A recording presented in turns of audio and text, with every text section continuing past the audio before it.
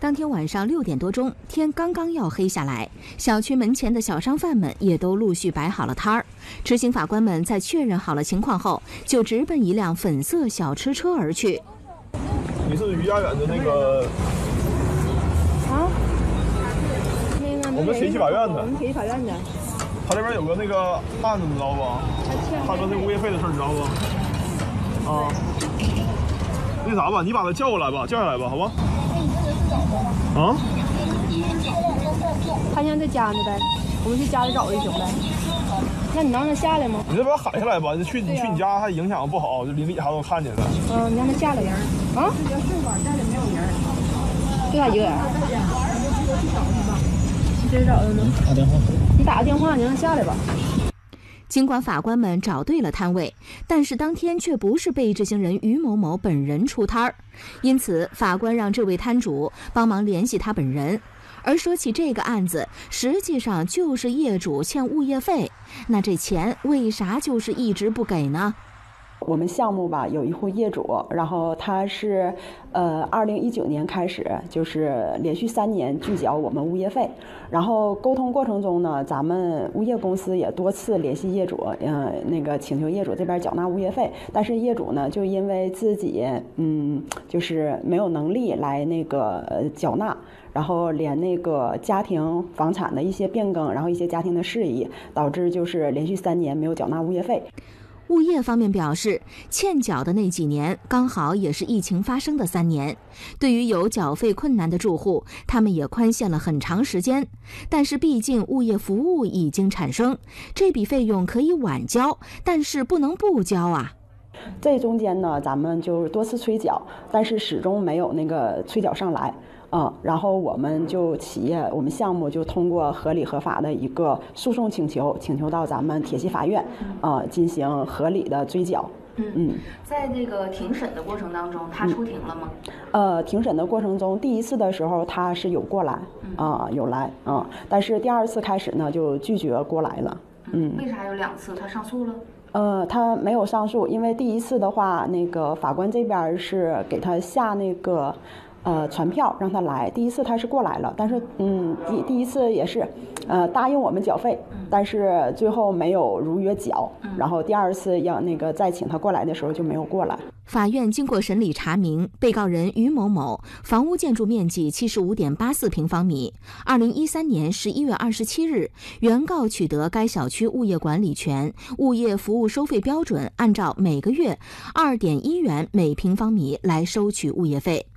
法院查清相关证据后，二零二三年六月十九日判决被告偿还拖欠原告的二零一九年十二月一日至二零二二年一月三日的物业费三千九百余元。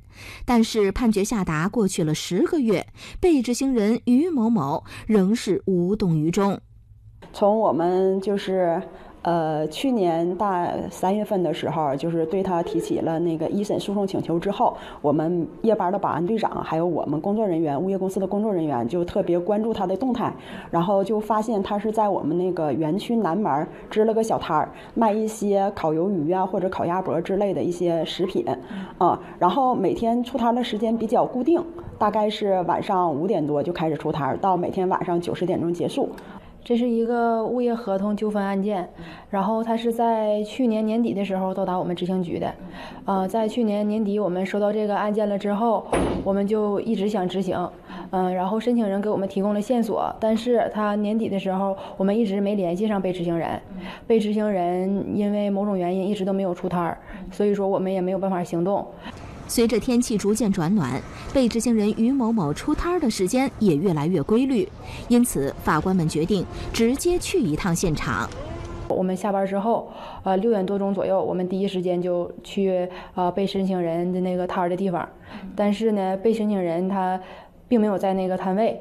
然后我们根据保安大哥他给的线索，我们到了他的楼底下。然后发现他在楼底下，正好他他正在出来的过程中，我们给他堵住了，然后我们就跟他，呃，就是进行交涉。终于，法官们联系上了被执行人，并在小区内见到了于某某。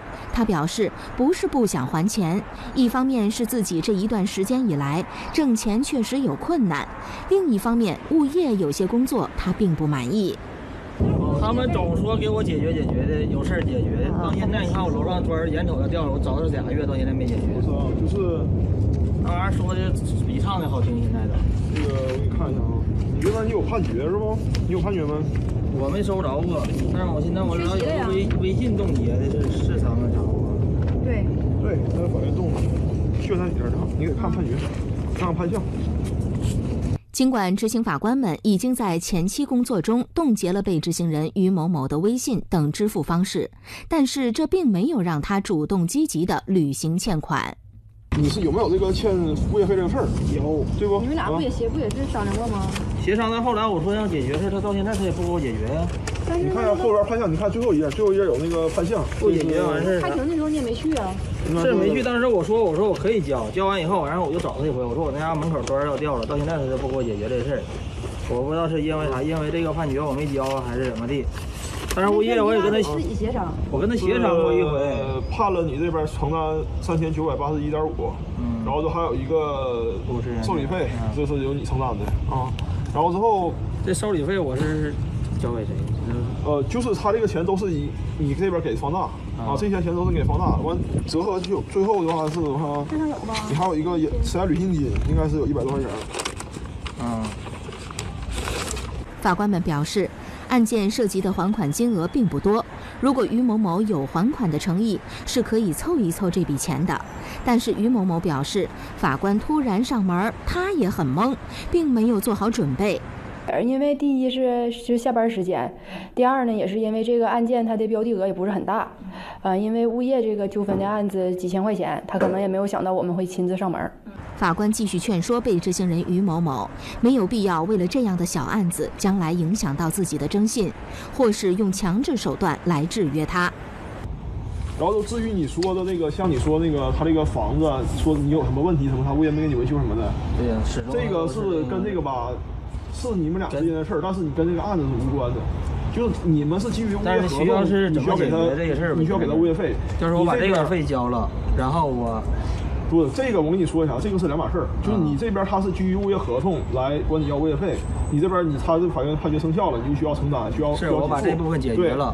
你那个你跟他成那个协商，如果说他那边跟你修就完事儿，如果说再有什么问题，然后我就你这边你就是属于是，你也可以到法院去起诉他，这属于是另一个案子啊。那我那我明白了，那这事儿我就是给他解决就完事儿了，把这个金额解决就完事儿了呗。对，因为你不要然后这个案子就是解决了。对，再有什么事儿就是我跟他的事儿了。对，再有事儿你要说你想以原告身份去起诉他，他他没有。尽到维修义务或者怎么样，但是你啊，那我那我那我明白了，那我明白了，就是我现在把这些钱解决就完事儿了呗。对对对，这个案子就解决了呗。你现在能到物物业那边现在直接交费不？现在我不能，我得过几天，我两两天三天。你这边你不是还在那个外边？家五园的吗？那不是我的摊儿。哦，那你属于帮忙。是我摊儿，我爱说啥。哦。我微信现在包括我也进不来钱，物业那个我微信冻结也是跟这有关，是不？因为我打那个电话始终是没接过。如果说你没有其他案件的话，应该就是这个。没有，嗯。但是他有个铁西法院电话，但是到现在打也没人接，我不知道是因为什么，完事具体是什么原因啥我不知道。就是那物业费的。那我就是这两天我把这个这个解决完事儿，完剩别的事儿我再跟他商量就完事儿了。